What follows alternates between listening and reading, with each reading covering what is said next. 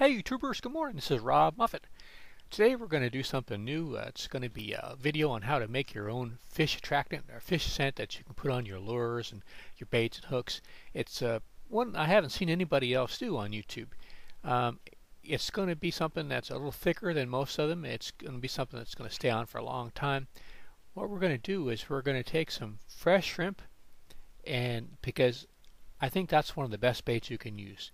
Now there's a lot of fish that we eat stuff that you would never eat, like catfish. But most of the fish I like to catch, they like fresh food. They like things. They, they like what people like to eat.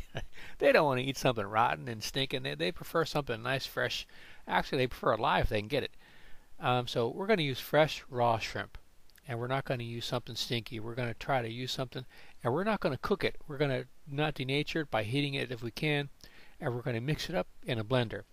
And before we do that, we're going to cut up in little pieces and then we're going to get some Crisco. And we're going to put about three big old honking tablespoons in the blender and then add our shrimp. And we want to cut up our shrimp and make sure it's thawed out. If you don't thaw it out, it's going to congeal back into uh, the the solid again.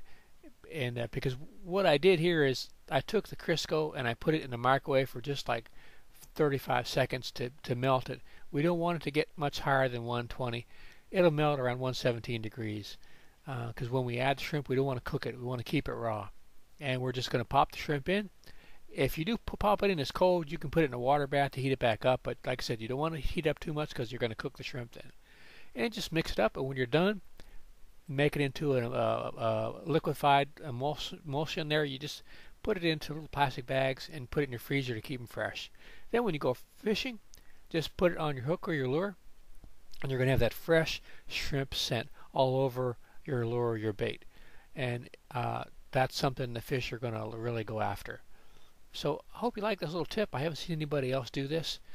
And uh, hope you come back and watch more. I put more videos on every week.